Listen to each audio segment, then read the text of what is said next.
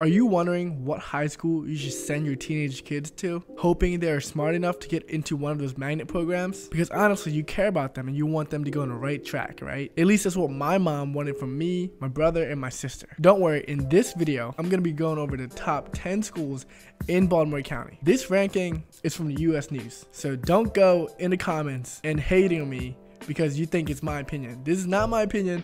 This is from the US News ranking. And they have a pretty good ranking systems on what is the best high school in the whole nation. Okay. Again, please do not write mean comments and saying, oh, I do not agree with you. I do not agree with you. You don't agree with the US News. All right. I'm just a messenger and don't shoot the messenger in this case. But before we start, if you don't already know me, my name is Van. I'm a real estate agent in Maryland and I'm very local to the Baltimore area. And I've been living here nearly all my life. If you guys like videos like this, please give this video a thumbs up and subscribe to the channel. It would mean a lot to me. Let's get into it. So one of the reasons why people relocate is obviously because of schools. Everyone wants to send their kids to a good school and brag to all their friends. And that is a fact. The conversation probably goes like this. Oh, your kids go to that high school? Well, my kids go to this high school. We got one of the best sports team, education, and all that good stuff. We all have had, we all know those type of parents and we can't blame each other because we're all like that. There's something about high school rivalry and you just gotta love it. But before we start, we gotta understand how the US News does its rankings. What criteria are the US News looking at? And where are they getting their data from? And if you are a nerd, I'm gonna link to the whole article so you can read it if you want to of what the US News are going through when they're ranking all these schools. First thing is they add up the weighted score of these six criterias to analyze the quality of the school. So of those six indicators, they calculate an overall score from 0 to 100, and this is based off of a national percentile basis. And the data aren't even collected from the schools because think about it, some schools can fudge the numbers and be kind of biased. Some data are collected from the Common Core of Data by the US Board of Education. Second data collection is from the State Assessment Test. Third data comes from the college boards, and the fourth data collection is from the Internation baccalaureate exam. These are the six indicators. I don't even understand some of them, to be honest. Number one is college readiness, which accounts for 30% of the whole ranking score. This is based on the AP or the IB exam. Number two is college curriculum. This accounts for 10% of the overall score. They're taking the numbers of how many students take or earn AP credits, which is college credits basically. Next is math and reading performance, which accounts for 20%. And we also have math and reading proficiency, which I don't get the difference, but they said that's two different things.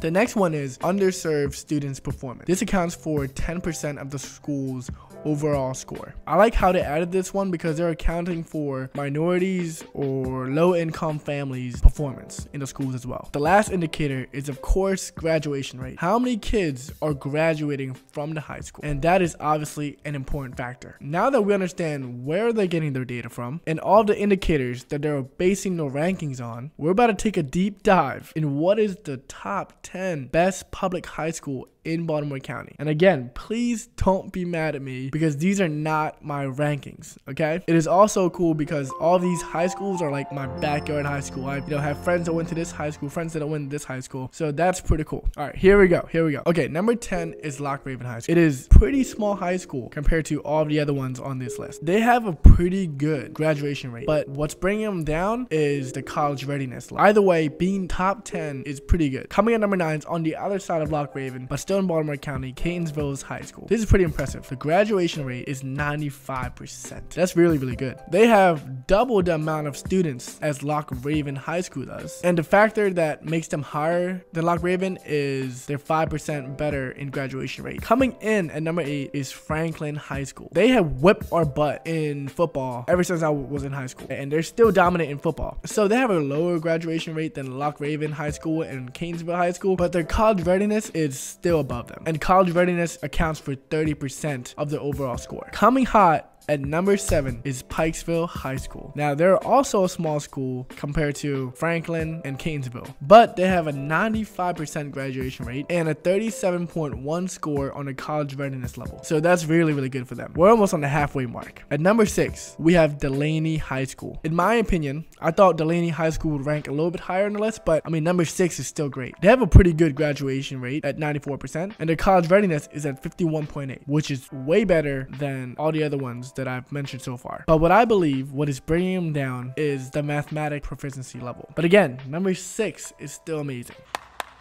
Up next, at the halfway mark, is Towson High School. They're known for their amazing law magnet program. Have a graduation rate higher than 95. That's great. College readiness 53.2. Amazing. And they're ranked 50 out of all the schools in Maryland. So that's some good stuff right there. Moving at number four on the list is Hereford High School. Now, if you guys don't know, this was my high school rivals. I don't like them. I don't know why they're on this list.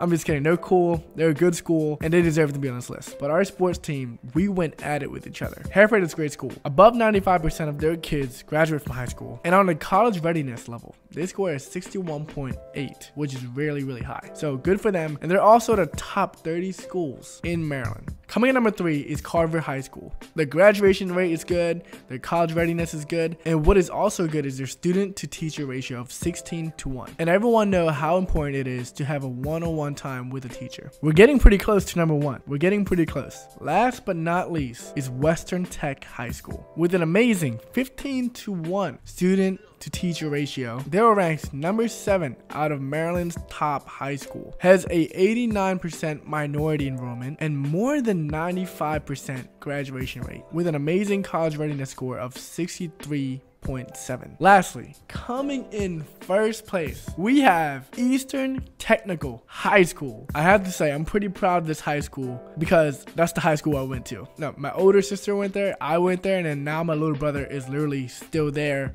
graduating this year. Eastern Tech had a majority of their students take the AP exam and with a 66 percent passing the AP exam. I definitely brought down those numbers because um I failed my AP exam between me and you. Oh sorry. No, they wanted me to take it. I did not take it. Okay, sorry. It was in AP environmental science. I did not want to take the exam. Boo hoo. But I did bring down the score. Not only that, we're the top three high schools in Maryland and in the top 0.7% nationally. I'm not gonna lie, I did not know how I got into the high school because we had to take a test to get in, and only a small percentage of people actually got in. Either way, I'm proud that I was a part of it, and all the other high schools should be proud that they're on this list. But really, this ranking really doesn't matter because I believe that we all should strive to make every school the best high school possible. It's not about keeping one school down or one school up.